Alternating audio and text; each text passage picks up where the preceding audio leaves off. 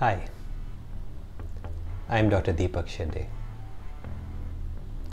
I'm a practicing consultant obstetrician and gynecologist since the last 20 years. We live in a time when there is far too much of information available.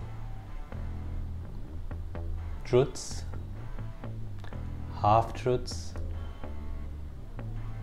some really something sometimes very silly. It's available everywhere on your phone, your PC, your newspapers, your driver, your hairstylist, your friends, everyone. What you really need is a filter. Some filter to filter out the truths from the half truths. So I'll be giving you some 3 to 5 minute health capsules. Small subjects, small problems which women encounter or large problems which I will then split into maybe multiple small capsules.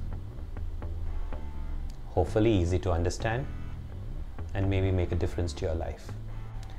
Remember, these are health capsules. They are not a substitute for a visit to your gynecologist. So we'll start off with a subject known as polycystic ovary.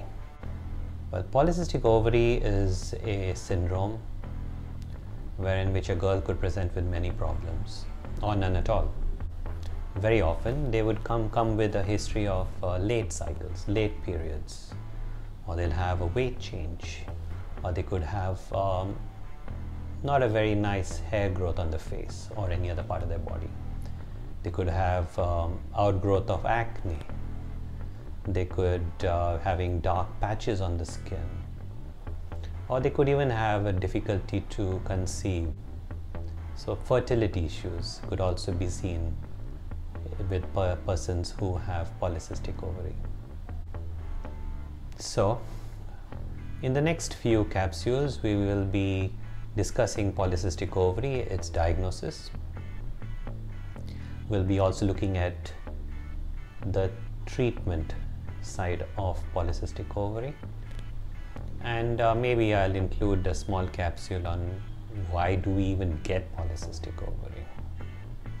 So by the end of the day, by the end of all these capsules, maybe you know more about polycystic ovary, you maybe know how to, to treat yourself better, uh, you'll know whether you really need to take hormones or not could also know whether you could prevent getting polycystic ovary in yourself or even in your children. So please um, subscribe to this channel and uh, please put your like if you do.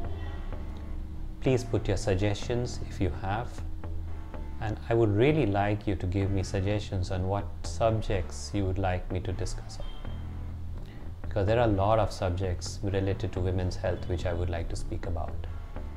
Um, it could be like menstrual problems, menopausal issues, it could be uh, period problems, heavier flow, less flow, pregnancy, difficulty to get pregnant, problems during pregnancy, delivery, cesarean or not to cesarean, episiotomy or not to episiotomy, forceps, ventouse, there are so many things which you should know. And uh, yeah, I hope to cover most of these subjects. So if you could just put down in your suggestions which areas you would be interested in listening, um, I'll try to catch those subjects early. All right.